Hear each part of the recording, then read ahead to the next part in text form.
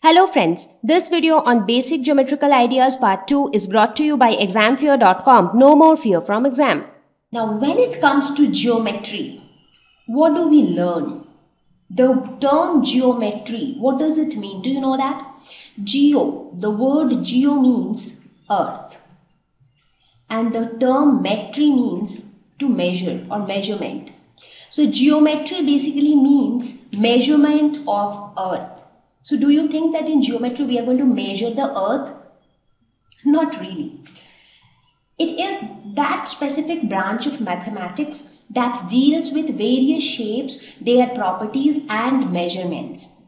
So here we will not only look at different shapes. Now, so why the name geometry has been given? Because it, it deals with measurement of different shapes. So that's why you have metry. And why earth? Because all the objects on this earth they have many different shapes. And here we are going to deal with all of those shapes. We, we are going to look into the properties of those shapes. And we are also going to consider measuring those shapes. So that is why the term geometry was appropriate for this particular branch of mathematics now here we will start from the very basics. Now we will directly not go into the shapes and we will not start measuring their uh, size or measuring their area. So that's now not how we are going to start. First we will start with the very very basic elements of geometry. the basic elements will start from points, angles, lines, rays. So only when you know those basic elements only then you will be able to understand the concept of different shapes. So let us look at these examples. Let's think of this door. So right now the door is closed. Now what happens as we gradually open the door? Now let's say someone is very slowly trying to open the door and finally the door is opened. So what is the difference that you see in these gradual steps? So in the first case, now in all of these images, you see that the frame of the door is fixed in all the cases. If you want, you try this experiment at your home. Try to open the door very gradually and what do you see? The frame is fixed. Now initially, the door was aligned to the frame. So the door was actually placed over the frame.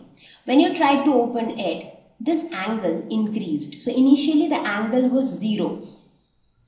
Now when you opened it further, the angle increased further when you opened it almost completely the angle again increased. So you see that gradually the angle is increasing. From here it was 0 degree then maybe it was somewhere around 30 degree then 60 degree then 90 degree and so on. So the angle is gradually increasing.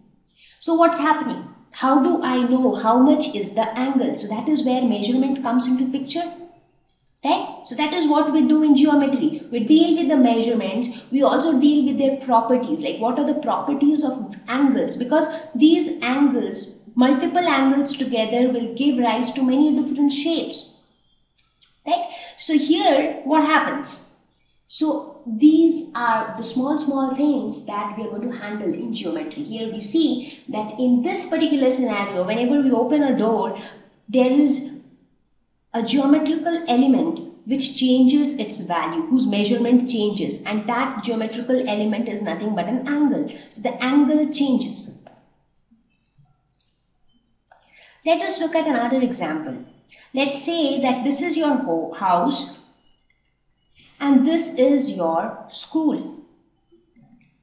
So let's say if somebody asks you how far exactly is your school from your house now, when we say how far exactly, that means you need to give a measure. You cannot say that my school is nearby or you cannot say that my school is far. Now, when you say my school is nearby, it could be 3 kilometers from your house. It could also be 10 kilometers from your house. It could also be 500 meters from your house.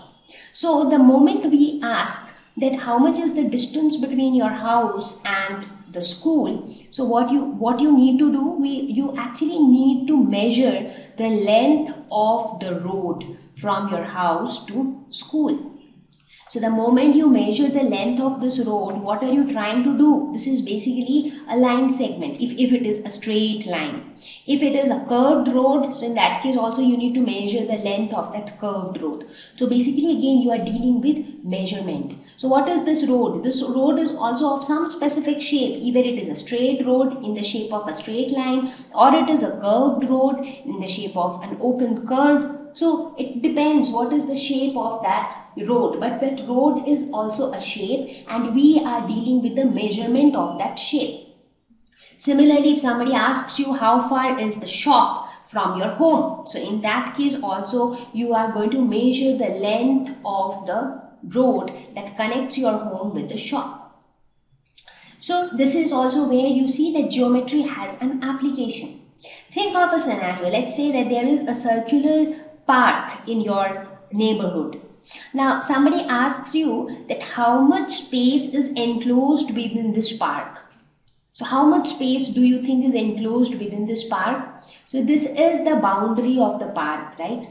So if I ask you how much space is enclosed within the park, that means you basically need to measure this entire space because this is the space that is enclosed by the park. So basically what you need to do, you need to find out the area that is enclosed by the park. That is what you have been asked.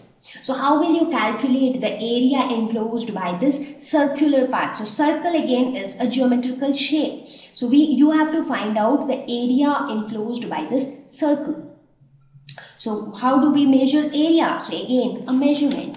So you see in each of these examples, what I'm trying to say is everywhere when you actually think properly, you will see that around us we come across many different shapes and we need to measure you need to measure a lot of things related to those shapes and that is where geometry comes into picture so in geometry we learn how to uh, analyze different shapes how to measure various parameters of different shapes. So that is what we are going to learn in geometry.